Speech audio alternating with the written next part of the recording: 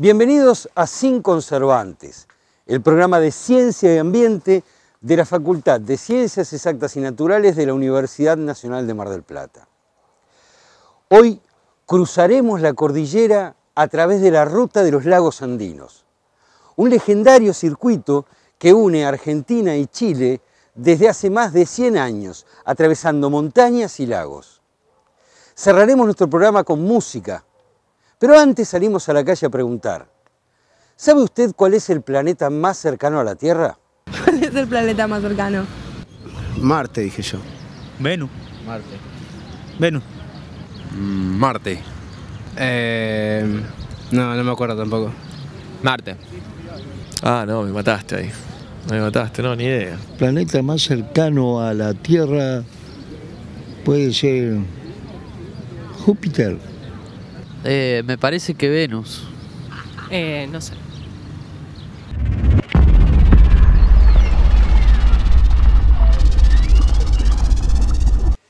Para saber cuál es el planeta más cercano a la Tierra, consultamos con el doctor Mariano Anavitarte, del Departamento de Física de nuestra facultad, y esto fue lo que nos dijo. El planeta más cercano a la Tierra actualmente, hoy primero de junio, es Venus, el cual se encuentra a 101.700.000 kilómetros de nosotros. Esto equivale a ir hasta la Luna y volver unas 139 veces, o lo que es lo mismo, dar la vuelta al mundo unas 2.540 veces. La distancia entre la Tierra y cualquier planeta la contamos a partir de sus posiciones relativas en las órbitas y depende de qué eh, posición tengan ese momento en sus respectivas órbitas. Por eso va variando constantemente. Eh, es por eso que a partir de agosto, en dos meses, el planeta más cercano a la Tierra será Mercurio, ya que Venus se va alejando de nosotros. Esta es una respuesta literal a la pregunta ¿cuál es el planeta más cercano a nosotros? Existen diferentes eh, respuestas, las cuales dependen de qué nos interesa saber. Por ejemplo, podemos considerar las órbitas de los planetas y ver qué órbita está más cercana a la órbita de la Tierra. Si consideramos eso, el planeta que tiene la órbita más cercana a la órbita de la Tierra es Venus, la cual se encuentra a una distancia promedio de 41 millones de kilómetros. Esto equivale a ir hasta la Luna y volver unas 53 veces, o dar la vuelta al mundo unas 1025 veces. Decimos que esta es una distancia promedio ya que los planetas se mueven en órbitas elípticas alrededor del Sol. Esto vendría a representar como un círculo estirado, un óvalo, en donde el centro del círculo al estirarse forma ahora dos puntos separados llamados focos. Entonces, al moverse a lo largo de sus órbitas, los planetas van eh, cambiando su posición relativa al Sol, siendo la distancia menor llamada perihelio y la distancia mayor llamada afelio. Es por eso que las distancias entre las órbitas de los planetas van cambiando según el punto de la órbita en que nos encontremos. Por eso podemos considerar que la distancia más cercana entre Venus y la Tierra, o sea, la distancia donde las órbitas están más cercas, es de 40 millones de kilómetros. Esto es muy parecido a la distancia media, ya que las órbitas de los dos planetas son prácticamente circulares. Por otro lado, la órbita de Marte tiene un punto de mayor acercamiento que se encuentra a 58 millones de kilómetros. Y esto se debe a que la órbita de Marte es un poquito más elíptica.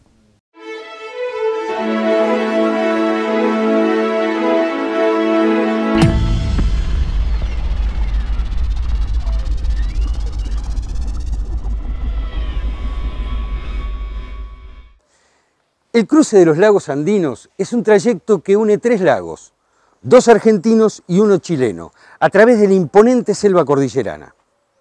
Saldremos de Bariloche e iremos hasta Puerto Varas, para luego volver hasta Villa Langostura. De esta manera cruzaremos dos veces la cordillera, pero en bicicleta. A fines del 1800, la empresa creada por Carlos Widerhort abrió la ruta de los lagos andinos, cruzando la cordillera desde Puerto Varas, en Chile, hasta la ciudad de San Carlos de Bariloche, en Argentina. Todavía no existía el Canal de Panamá y todos los artículos europeos eran recibidos por esta firma comercial en Puerto Montt. De allí eran transportados a San Carlos de Bariloche, cruzando los lagos Yanquihue, Todos los Santos, Frías y Nahuel Huapi. Inversamente, la ruta era utilizada para trasladar lana de oveja y otros productos de la Patagonia hacia Puerto Montt, en Chile, para ser embarcada hacia Europa pasando por el estrecho de Magallanes. Luego de la Primera Guerra Mundial y con la construcción del Canal de Panamá, la empresa quiebra y la compra don Ricardo Roth, quien transforma la empresa de transporte en una empresa de turismo siguiendo el mismo circuito. Nos propusimos realizar esta histórica travesía cubriendo los tramos terrestres en bicicleta, reingresando a la Argentina por Villa Langostura y completando así un circuito redondo.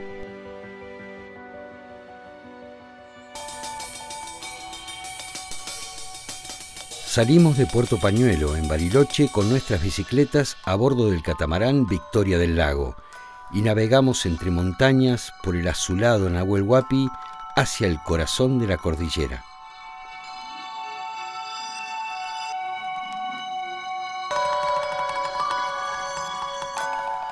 Luego de 24 kilómetros de navegación llegamos a Puerto Blest, descargamos las bicicletas y nos adentramos en la zona de densa vegetación, transición entre el bosque andino patagónico y la selva valdiviana.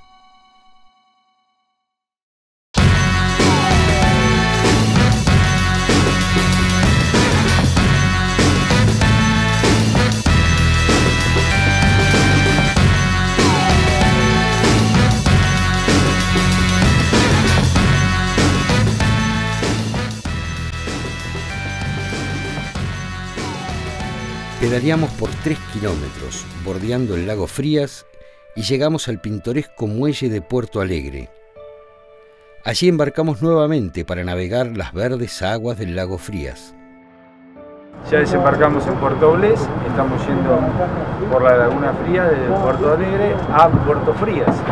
Esto es toda una zona de selva valdiviana, que es la que vamos a recorrer durante estos días.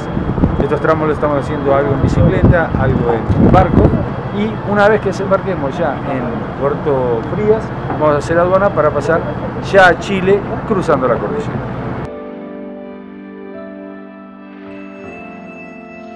La navegación por el lago Frías nos regaló increíbles vistas panorámicas de la cordillera de los Andes, entre ellas la majestuosa cumbre del Cerro Tronador, por donde pasa el límite fronterizo entre Argentina y Chile.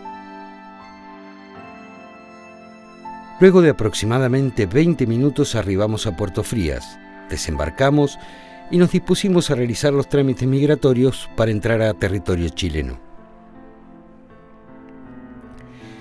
En este punto comienza la selva valdiviana, una de las tres selvas de su tipo que existen en el mundo. Las otras se encuentran en Australia y Nueva Zelanda. Estamos en una ecorregión que se denomina bosque húmedo o bosque valdiviano, mal llamada selva valdiviana, por la gran diversidad que hay de, flora y fauna. Abarca entre 300.000 y 400.000 kilómetros cuadrados, mayormente en la parte chilena y una franja que le corresponde a la zona argentina. Nuevamente montamos en nuestras bicicletas para sumergirnos por la espesura de la selva valdiviana en donde comenzó el verdadero cruce de los Andes. Los primeros kilómetros se desarrollaron por un camino sinuoso con cuestas muy pronunciadas que pusieron a prueba nuestra resistencia. Luego de unos tramos agotadores llegamos al punto más alto, en donde se encuentra el hito que marca el límite entre Chile y Argentina, el paso de Pérez Rosales, a 1050 metros sobre el nivel del mar. Allí abandonamos el Parque Nacional Nahuel Huapi e ingresamos al Parque Nacional Pérez Rosales.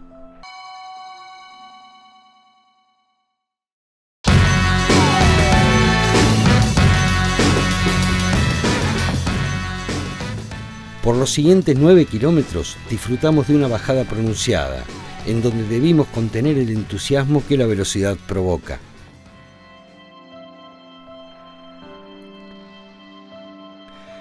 Realizamos algunas paradas técnicas en el camino de manera de disfrutar del paisaje, comer algo y reabastecernos de agua.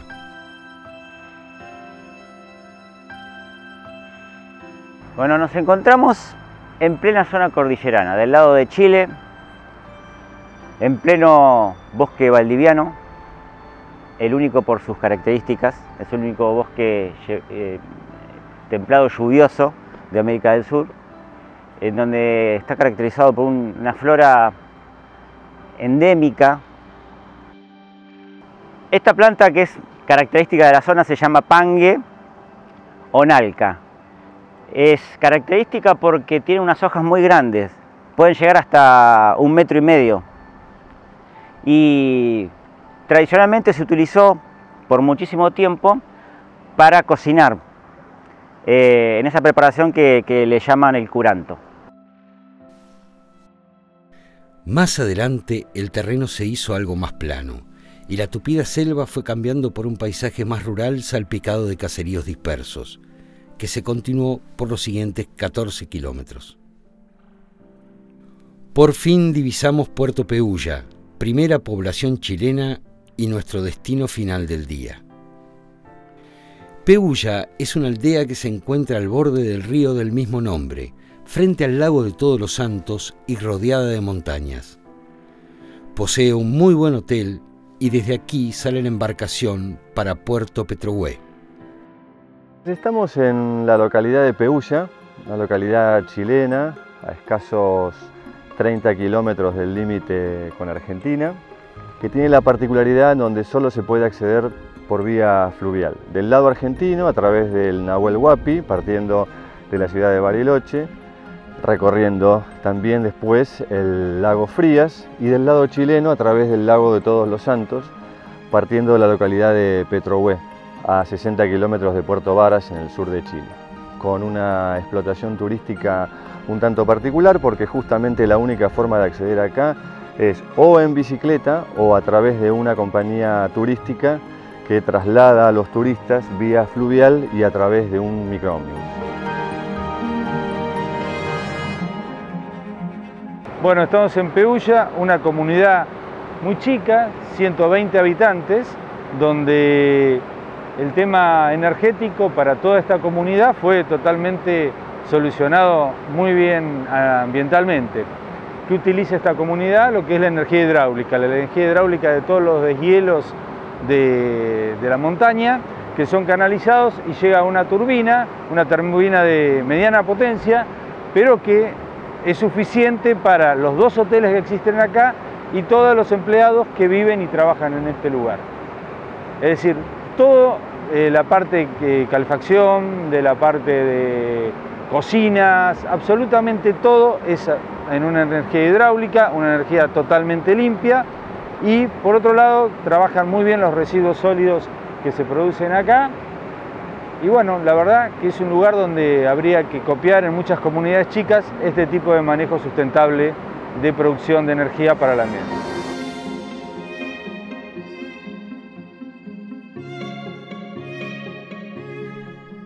Por la tarde abordamos el catamarán que nos llevaría a través del lago de Todos los Santos en dirección a Petrohue.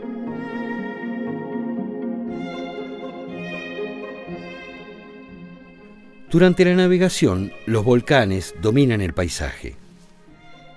El Calbuco, el Osorno y el Puntiagudo, el más empinado del sur de Chile. Luego de una navegación de casi dos horas, nos apresuramos a desembarcar para cubrir los 60 kilómetros que separan Petrohue de Puerto Varas.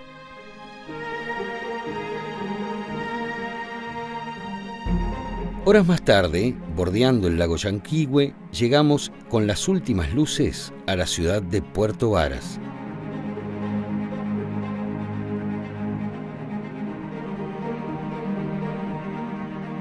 Este tercer día pusimos rumbo al norte para iniciar el cruce hacia Argentina. Salimos temprano con rumbo a Puerto Octay por un camino paralelo a las vías ferroviarias y rodeamos el lago Yanquihue con la vista imponente del volcán Osorno. Pasando por la típica localidad de Frutillar y luego de pedalear 51 kilómetros, llegamos a Puerto Octay, en donde pasamos la noche. La cuarta jornada, un duro pedaleo de 85 kilómetros pasando por la punta del lago Rupanco nos llevó a las termas de Aguas Calientes, vecinas a las termas Puyehue. Estas aguas hipertermales son provenientes de vertientes y se encuentran a una temperatura de 66 grados centígrados. Allí pasamos un día de descanso para afrontar las dos últimas jornadas de travesía.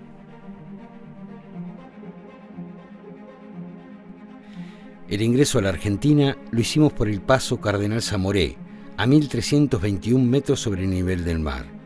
Desde allí descendimos hasta Villa Langostura.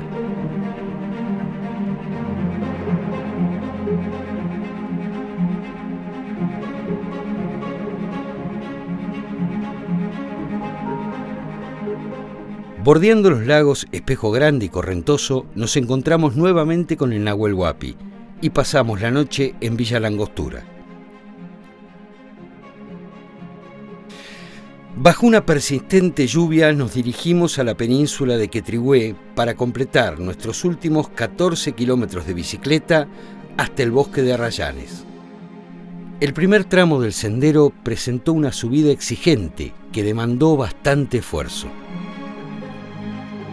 Mientras que recuperamos el aliento, observamos las cenizas que aún perduran de la erupción del volcán Puyehue, ocurrida en el año 2011 y que afectó tanto a la región.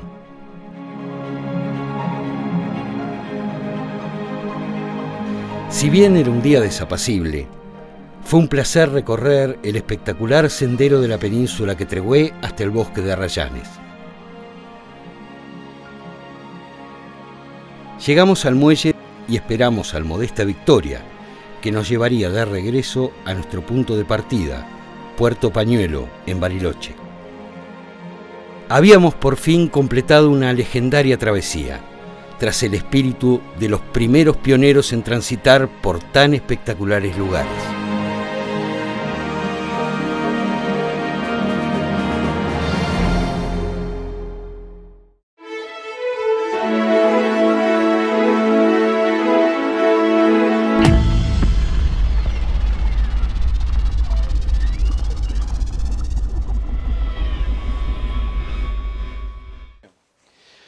Convocamos a nuestro estudio a un grupo integrado totalmente por docentes e investigadores de nuestra facultad que van a ser el clásico de Ray Charles, Hit the Road Jack.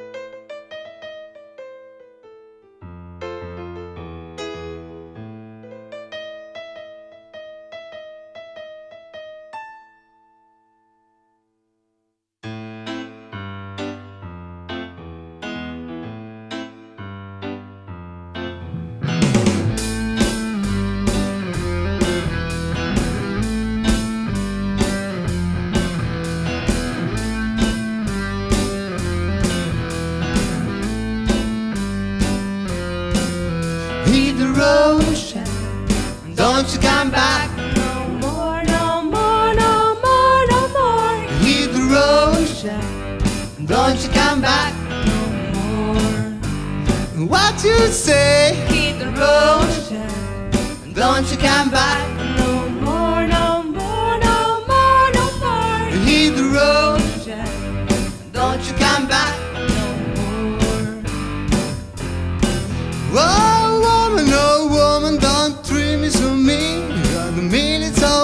Woman that I ever seen. I guess if you say so I have to pay my sins and go That's right, hit the road Don't you come back. No more, no more, no more, no more. Hit the road Don't you come back.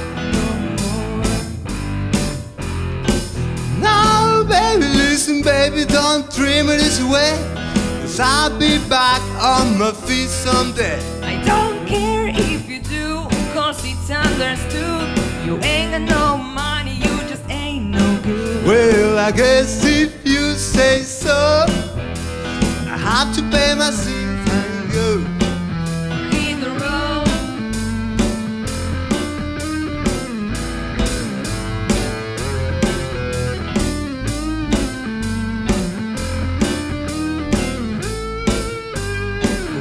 You say?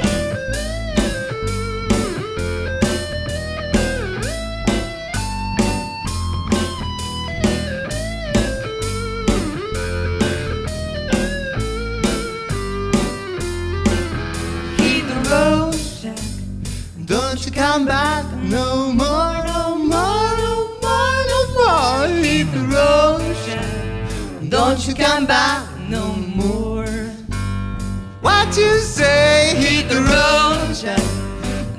come back No more, no more, no more, no more. Hit the road, Jack. Don't you come back No more. Well, Don't you come back no more. what you say? Don't you come back no more. I didn't stand you. Don't you come back no more. You can't mean that. Don't you come back Oh no, baby. Please. Don't you come back no more. What you trying to do? Don't you come back. Oh, don't treat me like that. Don't you come back no more. Don't you come back no more.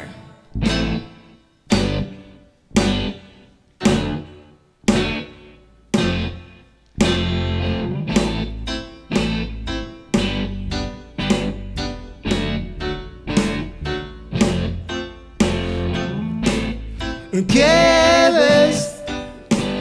¿Qué ves cuando me Cuando la mentira.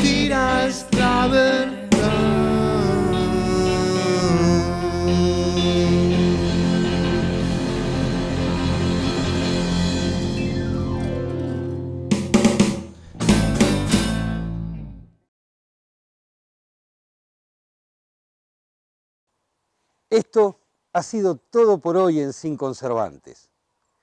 Los esperamos en el próximo programa con más ciencia y ambiente. Gracias.